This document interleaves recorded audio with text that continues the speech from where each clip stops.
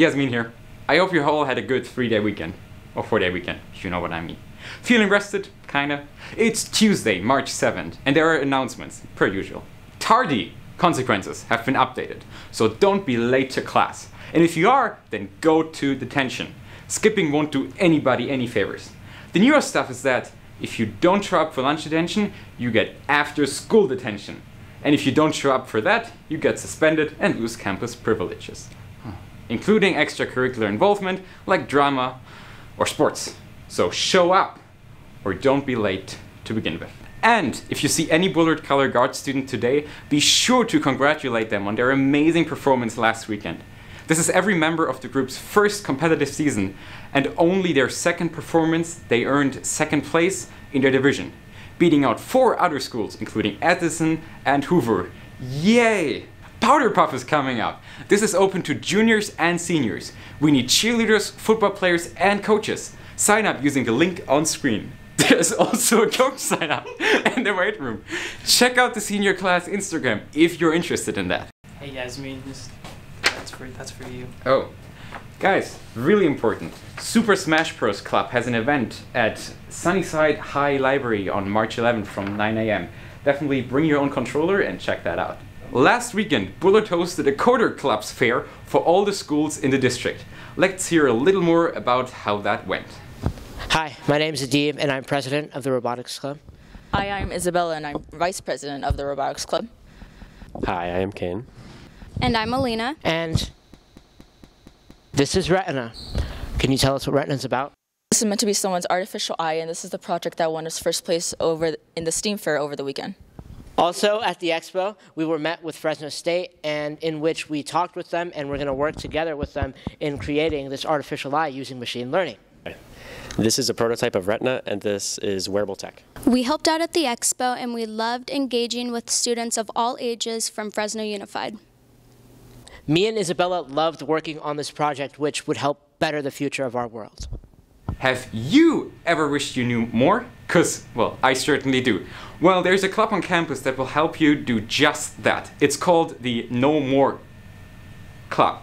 Hi, I'm Marissa Guzman, and today I'm here with Carissa Hawkins. And we're here to talk about the No More Club. What is the No More Club? Um, the No More Club is a club that promotes healthy teen relationships because one in three teens in the U.S. is the victim of physical, emotional, verbal, sexual, or digital abuse. What kind of events have you guys done? Um, you may have seen our tables out in the quad where we spread awareness about red flags that are warning signs to tell you that you could be in an unhealthy relationship because we all deserve a healthy relationship. How can others get involved? If you're interested in promoting healthy relationships, please come to our meeting at lunch tomorrow in room N106. Thank you. Thank you. I feel like I know more already. Sadie's, yay! Annie has something planned, as we will see. Hey, um, we're here with um, Annie, and Annie plans on asking Nathan Hi. to Sadie's. Yes. Nathan and I have been friends for a really long time, and I thought that we'd have so much fun at Sadie's together, so today I'm going to ask him. Yep, and he doesn't know yet, so I guess we'll find out.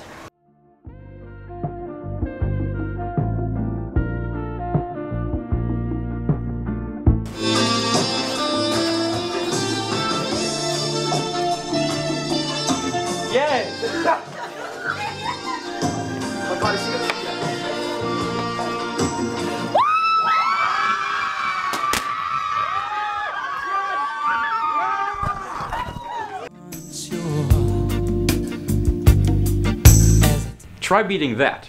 Remember, you can go with anyone to Sadie's. Your girlfriend, boyfriend, any friend. Just go. It will be fun. Jagger's also having fun, because he's at it again.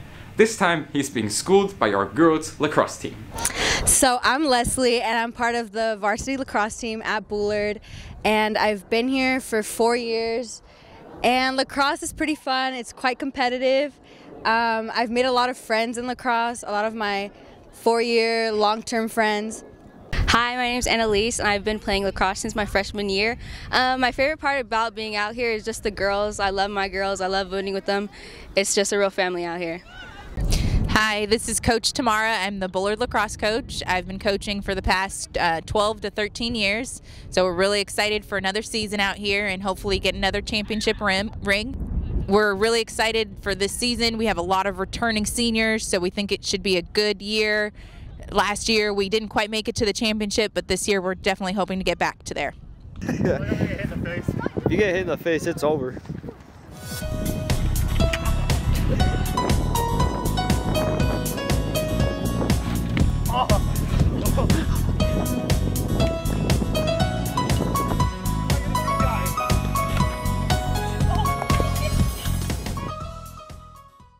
Jagger, did today in lacrosse?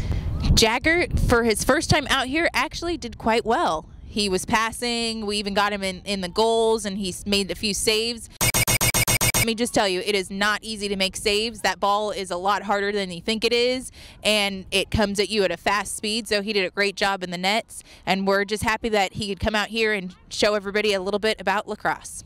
Go support our girls. It is Women's Month after all, and I hope everyone gives me money because I am a woman.